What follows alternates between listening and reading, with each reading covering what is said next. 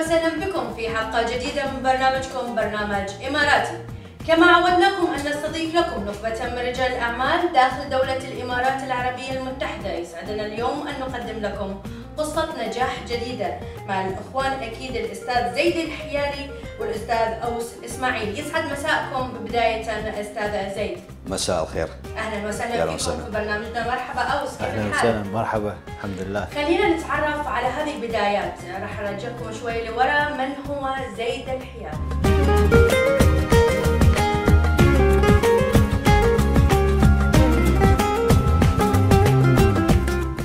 زيد الحيالي آه الأصل عراقي آه تركت العراق. ولاد بغداد من الموصل. آه تركت العراق بال 95 رحت لبريطانيا آه مع الأهل. قعدنا هناك تربينا هناك آه درسنا في الجامعة تخرجنا IT. فالحمد لله افتهمنا موضوع التكنولوجي هذا.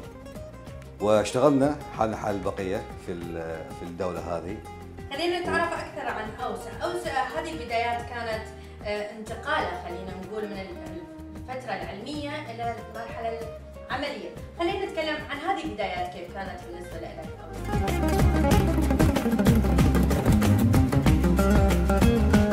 بدايات كانت حلوة وجميلة. من كنا يعني من كنت صغير أنا طبعا من عمري خمس سنوات آه، رحت لندن. فيعني عمر كريس صغير وربيت هناك ورحت مدرسة وجامعة واشتغلت.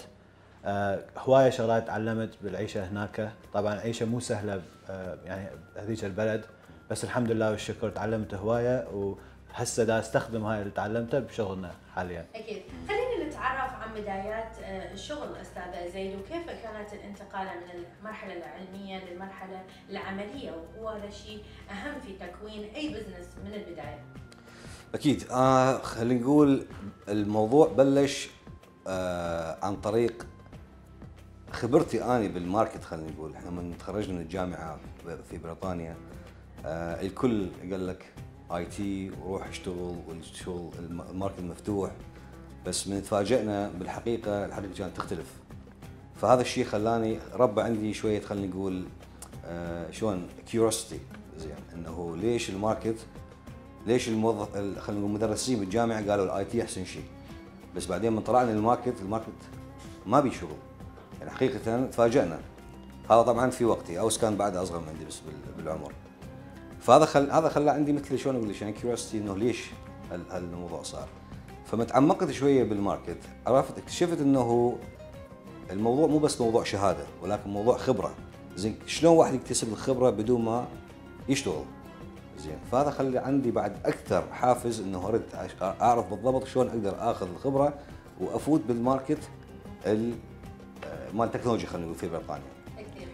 وبلشتوا في ال business من بدايات من أشياء بدائية مثل ما أعرف خلف هو. أنا بال بال بالنقطة هذه. يعني هذا الشيء كان أساس ال business. يعني اللي خلانا نفتح ال business بالتوظيف وبالاستشارات التكنولوجية خلينا نقول كان أساسه هو خبرتي خلينا نقول ال negative بال market مال التوظيف في بريطانيا. إنه ليش الشخص من يتخرج من الجامعة ما يقدر يلاقي شغل مباشرة؟ مع إنه كنت كانت درجاتي كلش عالية يعني وجامعة ممتازة. زين. فهذا خلاني ربى عندي هاي ال curiosity اللي خلاني أفتح ال business على مود أسكر ال gap هذا. ومن هالمنطلق هذا أسسنا شركة مارك اليز في بريطانيا اللي هي خلت آه، ال gap هذا بين ال client وبين ال student هذاك الوقت تكون أو بين خلينا نقول صاحب ال- الوظيفة أو يدور على الوظيفه ال- ال gap هذا يكون أقل. زين. أكبر شيء وأكبر عاق- عائق هو ال communication.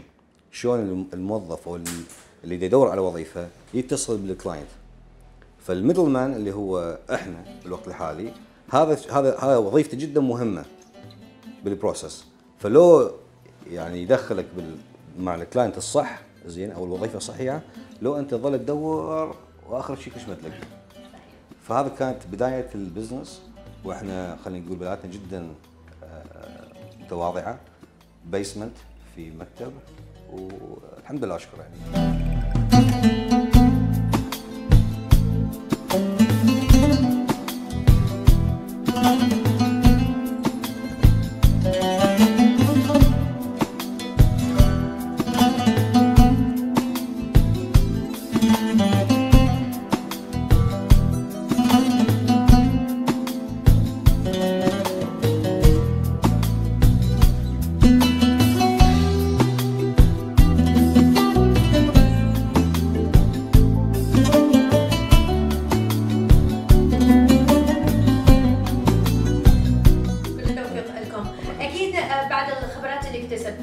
بريطانيا قررتوا توسعون وتنتقلون إلى دولة الإمارات العربية المتحدة، خلينا نتكلم عن هذه الانتقالة، شو اللي شفتوه في دولة الإمارات؟ يختلف عن باقي الدول. اللي تفتحون وتتوسعون داخل الدولة وتفتحون شغل الخاص فيكم؟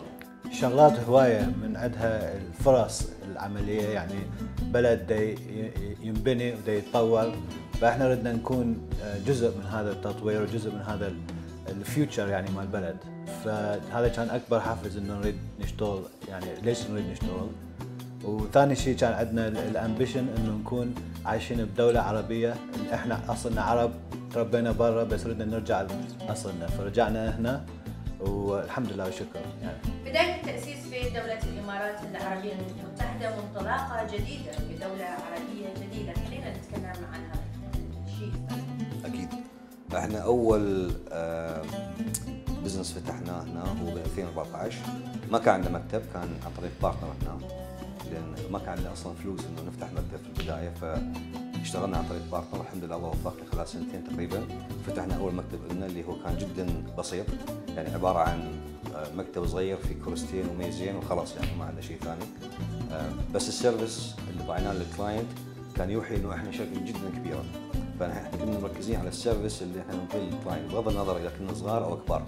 ف اكو كثير ناس يعني يتوقعون إنه شركة باركلس هي شركة عملاقة من بدايتها. بس الحقيقة لا. الحقيقة إنه الانطباع اللي إحنا طيناه كان عن طريق ال service اللي آه، خلينا نقول ركزنا عليه من الأساس.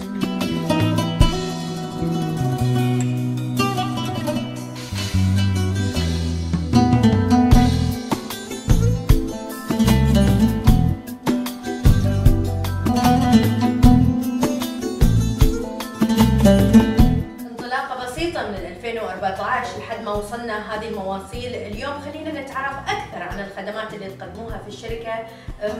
كيف تساعدون باقي الشركات إنه يطورون أعمالهم؟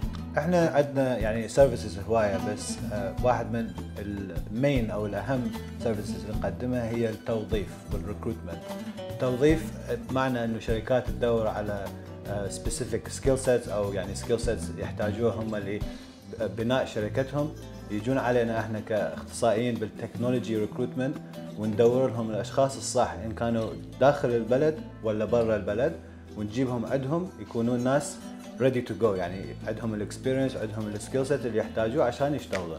أكيد. أستاذ زيد أكيد في دوله الإمارات أكثر من 200 جنسية مختلفة. اليوم شو اللي يميزكم؟ كيف وضعتوا بصمة خاصة؟ فيكم وتميزتوا عن باقي المنافسين داخل دوله الإمارات؟ أكيد. طبعا هذا يعني هذا الشيء 200 جنسية تعيش في بلد واحد. هذا من أحلى الشغلات اللي بالإمارات حقيقة يعني. لما تلاقي باي مكان بالعالم لا بريطانيا ولا باوروبا بشكل عام ولا بأمريكا ولا بأي مكان رايح له قبل فهذا ينطيك خلينا نقول فرصة على متلقين أحسن شخص مناسب للوظيفة. يعني إحنا اللي اكتسبناها في بريطانيا أو خلينا نقول الآلية اللي نوظف بها طتنا الفرصة إنه نلقي أحسن شخص داخل بريطانيا بس من جهة هنا اكتشفنا أكو بي أكو عد عنصر زيادة اللي هو diversity اللي هو يعني مجرد إنه هذا الشخص موجود بالإمارات ما له علاقة بالجنسية له علاقة بال skill sets فإحنا داخل الشركة دائما ركزنا على موضوع شلون نقدر نلقي أحسن شخص لهذه الوظيفة بغض النظر عن الجنسية. بنفس الوقت ننطي ال client خلينا نقول ال capability انه نلقي أكثر من شخص ويكون more diverse وأكبر دليل على إنه إحنا شركتنا داخل يعني داخل Marcellus عندنا فوق ال 15 جنسية يشتغلون كلهم سوية. زين نفس المكان وتحت نفس السقف. أهم الشركات اللي تعاملتوا فيها داخل دولة الإمارات وجميع إمارات دولة الإمارات أكيد والخليج العربي أيضا مثل ما عرفت يعني مشتغلين ويا بنوك هواية من ضمنهم اميريتس ام بي دي First أبو ظبي بانك مشرق آه، يعني هذول قسم من ال clients اللي نشتغل وياهم. آه، بالخليج العربي فهم شركات ال international تقدرين تقولين NCR ال ATM اللي تستخدميها كلهم يصنعون يعني هم يصنعون ال ATM أي بلدان من دول الخليج أنتم توسعتوا؟ حاليا عندنا بالسعوديه وعندنا بقطر operations كل التوفيق. أكيد أكيد أستاذ زيد نرجع على الموظفين، فريق العمل جدا شيء ضروري ومهم، اليوم هم عائلتك الثانية وإيديك اليمين مثل ما يقولون، صحيح. تعدد الجنسيات أيضا يتطلب الكثير من الخبرات للتعامل معها، اليوم كيف تختارون فريق عمل ناجح ليعطي أعلى جودة ممكنة من الخدمات لل client؟ أكيد. إحنا عندنا philosophy داخل ال business اللي إحنا أسسناه خلينا نقول اللي هو seat S E A T يعني دائما نسأل الموظفين how do you earn your seat at Marcellus ال seat هي أربع كلمات skills ethics attitude and trust. يعني ال skills اللي هي الخبرة اللي يجيبوها ال ethics وال attitude اللي هي خلينا نقول personality مالتهم وال trust اللي هي الثقة اللي يكتسبها الموظف لنا والعكس هم صحيح. فإحنا دائما من نختار شخص نختاره بناء على هذه أربع آه، خلينا نقول verticals اللي تخلينا نختار أحسن شخص داخل الشركة. إذا هو عنده ال ethics وال attitude الصح فراح يجي يكتسب الثقة مالتنا، إذا هو عنده خلينا نقول ال skills 50% فاني ما عندي أي مشكلة إنه أضيف ال 50% زيادة إنه هو يقدر ينتج أحسن وأنا أستفاد وهو يستفاد بالنتيجة.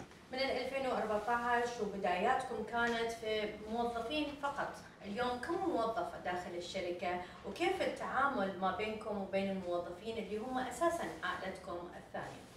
إحنا عندنا فوق ال 50 واحد داخل المكتب وفوق ال 200 واحد برا المكتب. آه الع... ال- ال- المعاملة كعائلة يعني ال family we are close family الكل يعني يعرف بعض يعرف ال personal lifestyle مال بعض وهذا الشيء كلش مهم لأن يساعدنا إنه نخلي ال culture يعني nice place to be والدليل إنه قبل فترة we were certified ك great place to work in the UAE top 50 فهذا الشيء يعني كلش مهم لنا إنه يشوف إنه إحنا مو بس مو بس الداخلي بس also الناس اللي برا يعرفون شلون يعني إنه ال culture مالتنا داخل الشركة.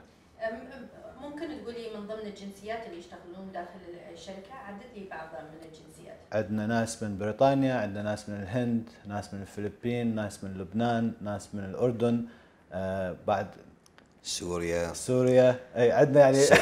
سوريا سوريا. تنوع تنوع حلو. آه، السويد عندنا عندنا نيجيريا عد- يعني 15 جنسية. وإحنا دائما نطمح إنه زي هاي الجنسيات. عراقيين.